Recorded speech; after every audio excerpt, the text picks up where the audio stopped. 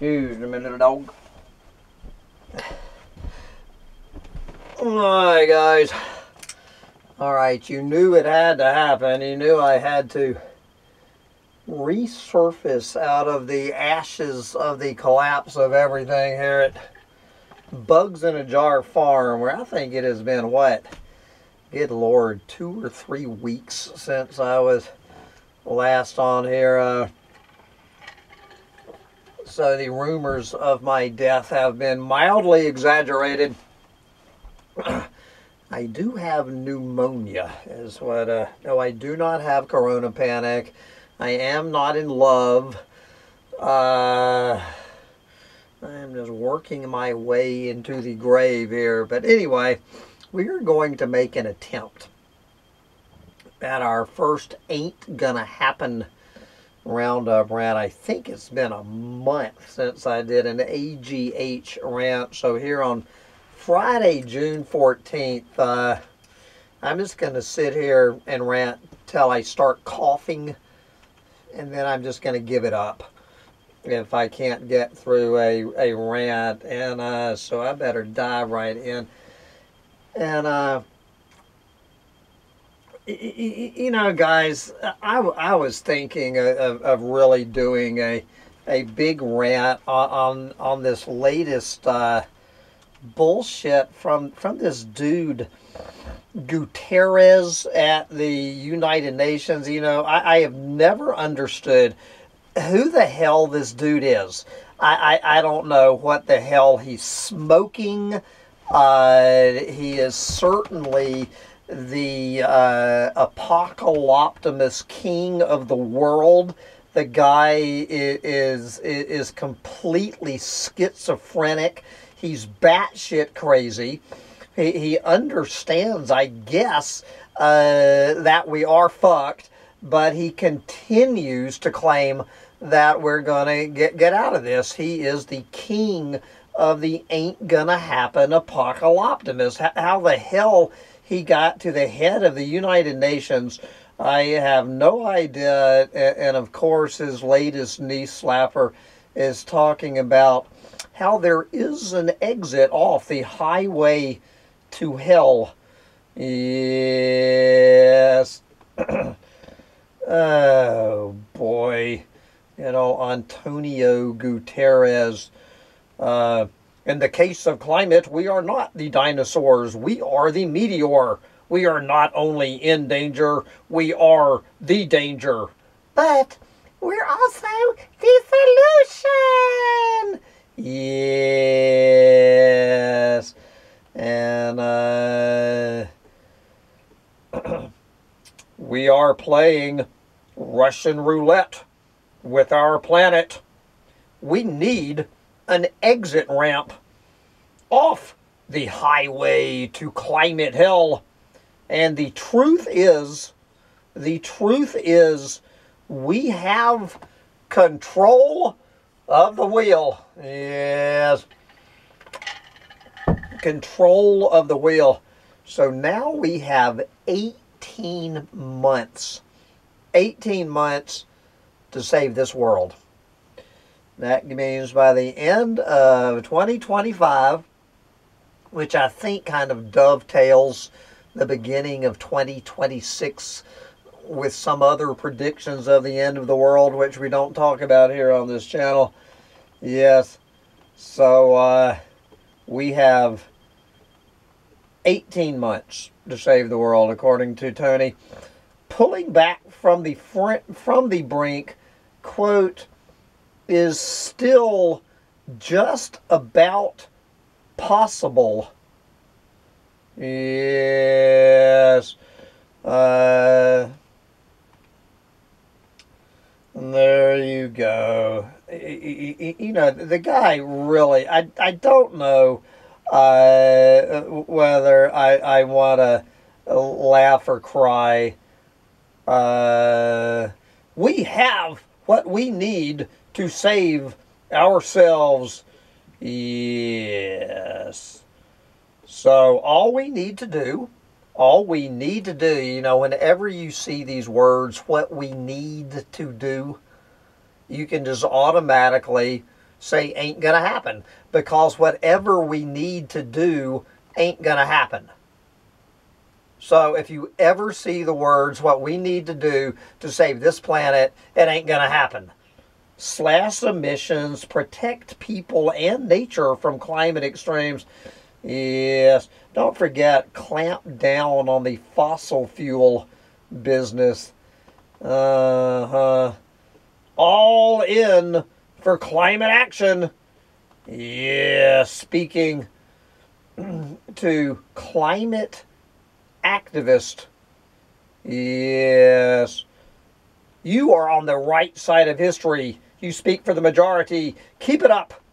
Don't lose courage. Don't lose. Don't lose.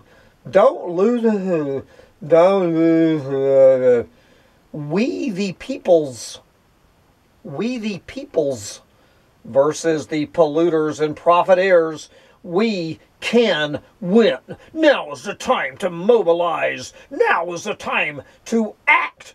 Now is the time to deliver. This is our moment of truth. Shut the fuck up. Does this fucker actually believe one word coming out of his fat mouth?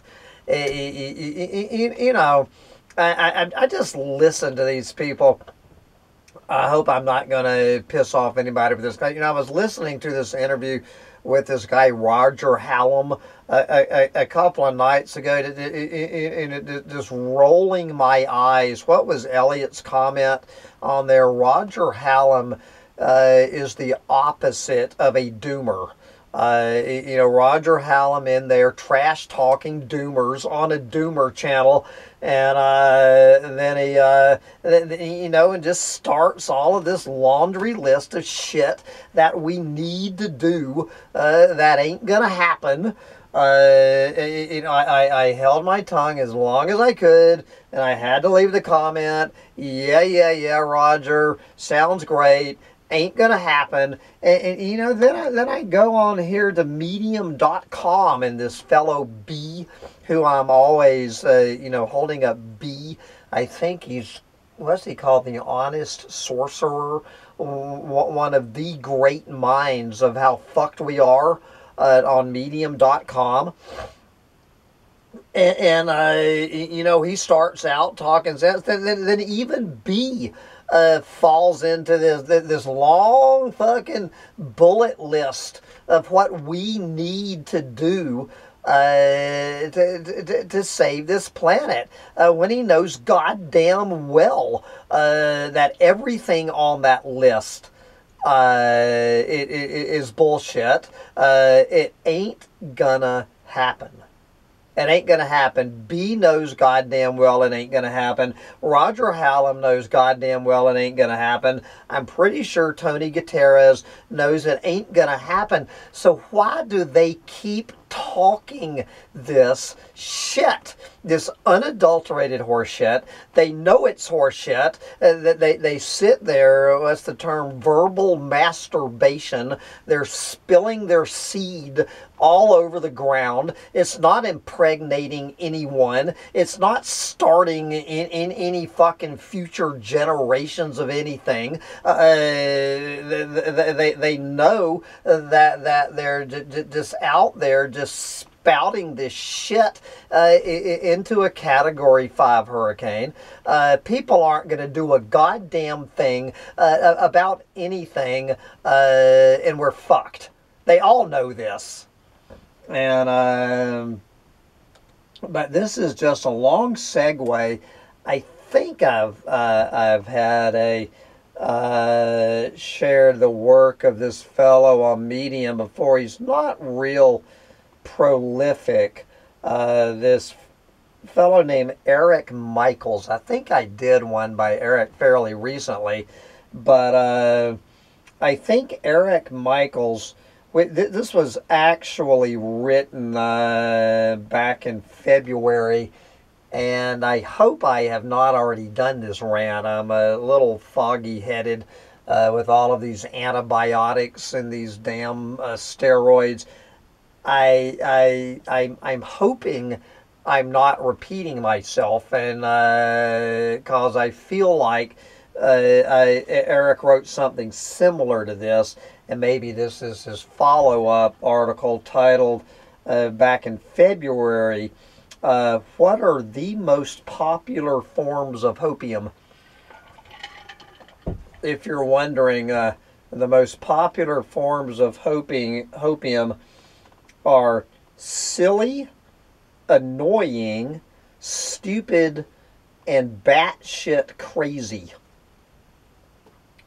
So, uh, anyway, I'm, I'm going to read, I'm just going to read this excellent article by Erik Michaels. I'll put the link on here for those of you who can read it because I'm probably going to start coughing in the middle of it. Uh, but but Erik Michaels has done as well as anybody the best ain't gonna happen essay I've ever read. And excuse me if I've read this before. Recently, I asked a question to get some new insights and ideas about reducing ecological overshoot that are widely known to be what we call hopium I was looking for something new that I hadn't heard of before, but nothing new to me was brought to the forefront. I'm thinking that might be the article that I remember reading. Um, I have mentioned electrification and associated offshoots, non renewable, renewable energy, EVs, batteries, supercapacitors, hydrogen, nuclear, fission and fusion energy, all based on the imaginary energy transition many times before, so I won't bother going into those, seeing how I've pointed out how the entire electric grid is uns unsustainable. I have gone into a detailed explanation of why hydrogen will never amount to much, and he has links to all of his previous essays, explaining why energy efficiency is dead in the water as a way to deal with overshoot and collapse has also been important to me. Many people claim that increasing energy efficiency and building sustainable technology is part of the plan to reduce overshoot. This is a logical fallacy being that technology use is causing ecological overshoot in the first place. Building more of it will not reduce overshoot no matter how efficient it is. It is important to realize that if overshoot is not reduced, all of its symptoms, all of its symptom predicaments cannot be reduced either.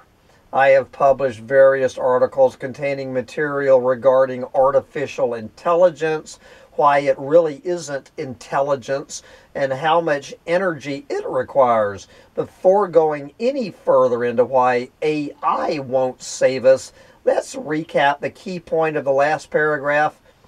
Building more technology and or technological devices will not reduce overshoot.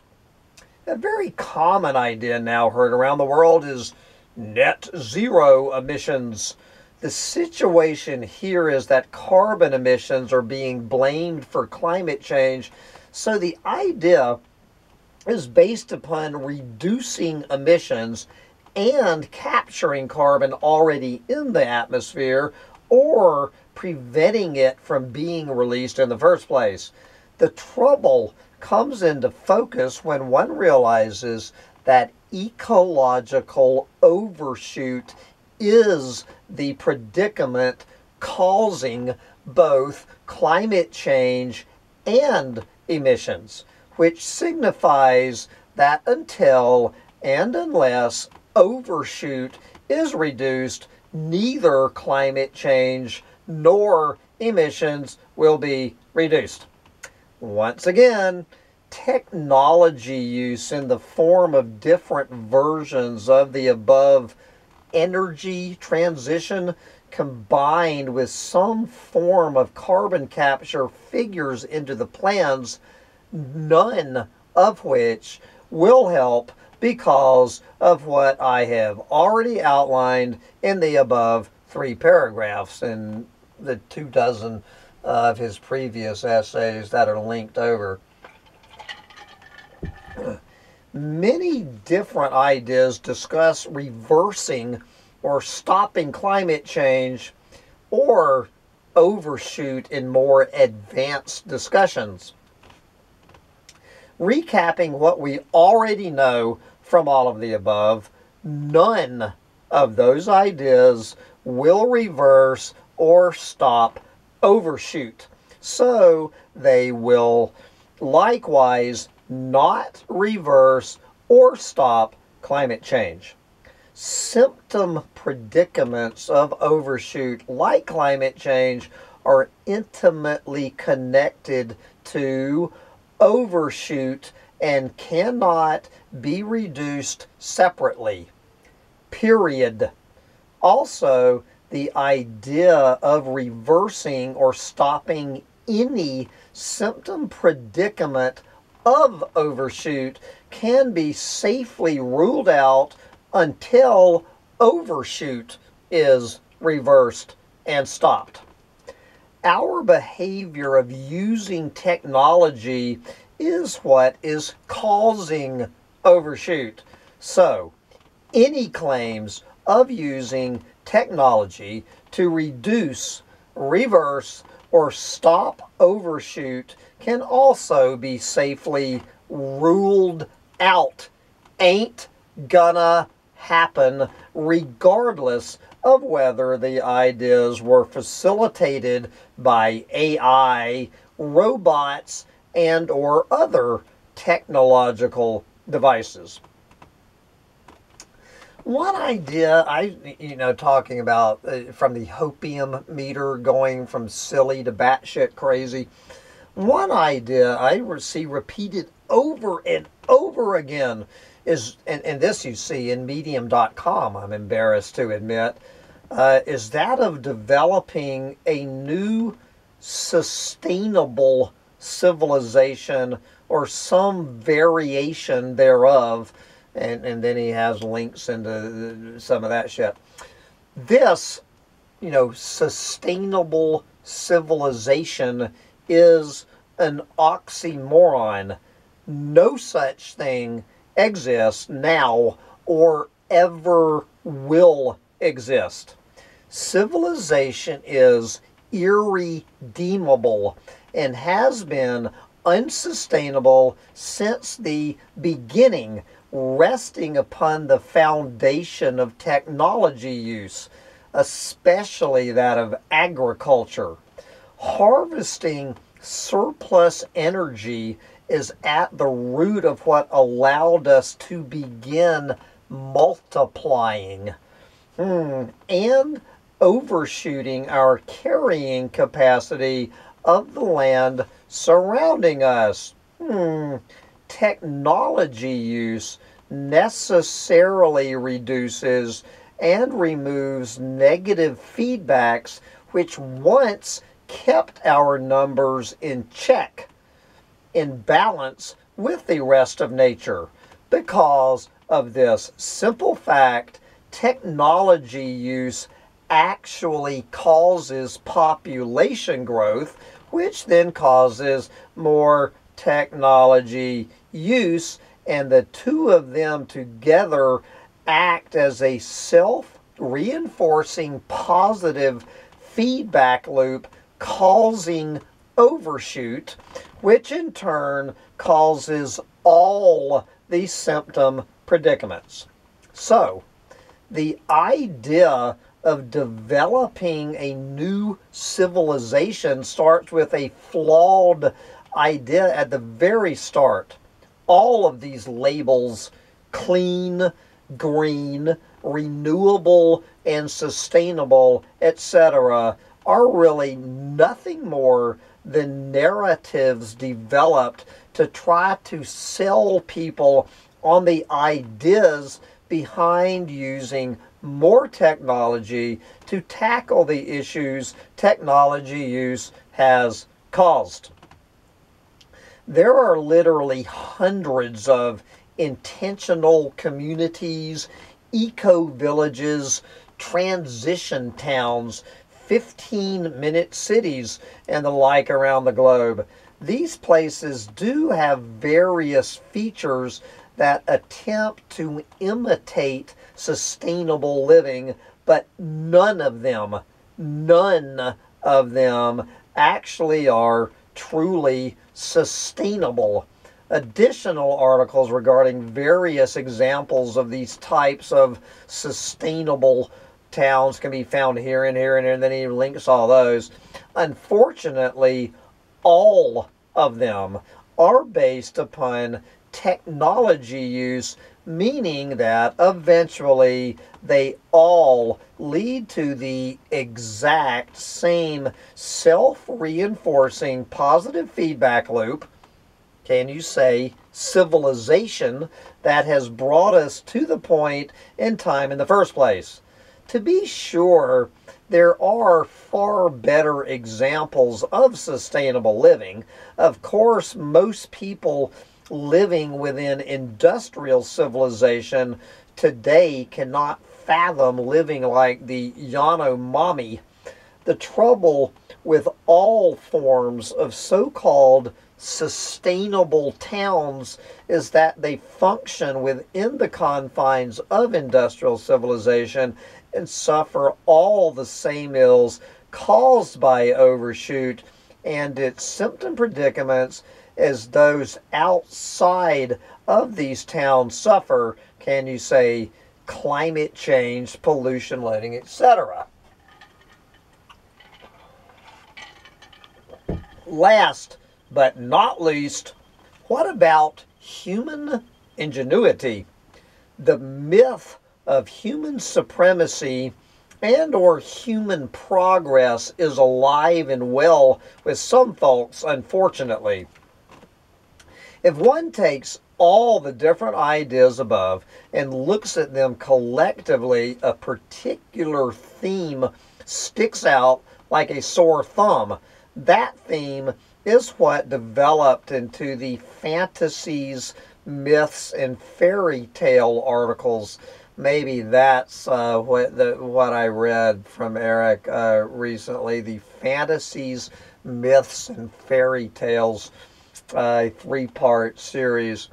This shows definitively just how powerful human denial of reality and optimism bias truly are, where our beliefs actually trump reality, at least in our minds. Tom Murphy came out with a new article the other day which really explains things extremely well. And more it more or less outlines the Wetiko thinking which is at the heart of all these ideas to begin with. I think I might have read that article back when it came out. So many false beliefs, so little time to work them all out as being false.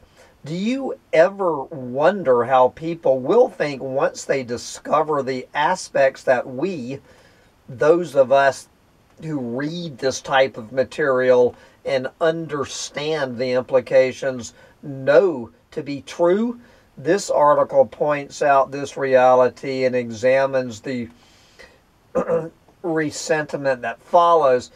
And so he links you uh, to Tom's article, which I think might be the one I've read.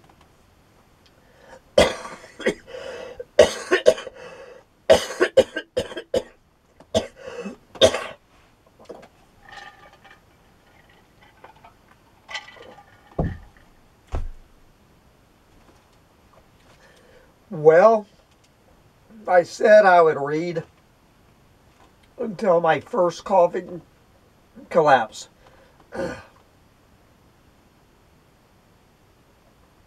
Okay. We're going to try to finish this out, guys. Way too many people do not comprehend. Way too many people, including scientists do not comprehend the rate of change that is occurring, we're not going to get into a Michael Mann rant talking about clueless moron scientists who do not comprehend the rate of change that is occurring combined with the fact that this is exponential change, not linear change.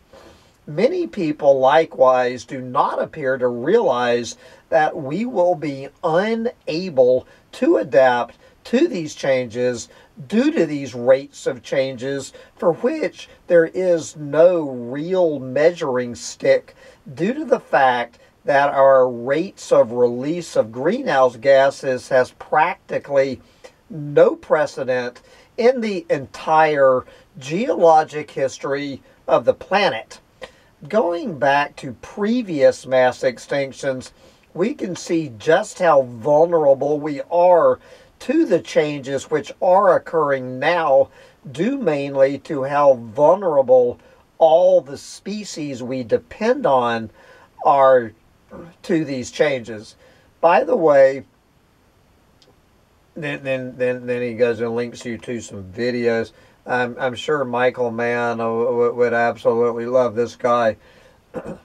Many people seem to have this idea that we can use the ideas above to create some sort of new sustainable civilization without realizing that no such thing is actually possible. Ecological collapse is occurring now, meaning that the predicament we the predicaments plural we face preclude the possibility that these ideas can be utilized long term. They are ideas that can be utilized today but will lack the resources, the surplus energy, and the resilience necessary to maintain communities in the future. For instance, if you decided to move to the boreal forest of Canada to escape the heat further south in North America, what happens after industrial civilization collapses and a drought wipes out your harvest for the year? Worse, even, what happens if a wildfire develops and wipes out your entire community? What happens if a disease? You can play this uh, this what happens game uh, all the time. Uh, these are new hazards which they have never experienced before. People need to realize. So I said, whenever you see the words need to realize, it ain't going to happen. People need to, but it, they are not going to realize that the predicaments we face are global in nature one may escape temporarily from a particular threat, but new threats will emerge that were not planned on. Ultimately, there truly is no escape from overshoot and its symptom predicaments. And this article from Alan Urban points this out in spades. I probably read this article, just a short quote from Alan Urban. We are not doomed because of climate change, resource depletion, or biodiversity loss. We are doomed because human nature made those things inevitable. Close quote. It is very important to realize this simple but immutable fact that this is who and what we are as a species, it really does not matter who and what we are as individuals. This is about our activities collectively and our effect on the rest of the biosphere as a result. Once again, it really pays off to comprehend precisely how we arrived at this point in time to understand why all these ideas that are fostered by well meaning people and groups will not change the outcome in any appreciable way of the predicaments we face. While I have attempted to point out our lack of agency with regards to this many times, most people would rather hold on to their beliefs than actually look at the facts. They suffer from denial of reality, and I am calling them collapse deniers. They are deniers of the reality of collapse. They suffer from denial of reality, just like Alan Urban said in the above article. This is the topic for my next article how ignorance and stupidity provide this environment of denial that prevents a wider movement toward reducing overshoot voluntarily, which ain't going to happen, which rules out degrowth as yet another idea which will go nowhere. Although my complaint with that movement is that it does not specifically target technology use, the very cause of overshoot in the first place. Until then, live now. Live now. And that is all you can do is get out there and enjoy chippy chasing while you still can and live now because you never know when the pneumonia wolf outside your door is going to come get you. Anyway, guys, uh, it is going to be 46 here tomorrow night. Saturday night, 46.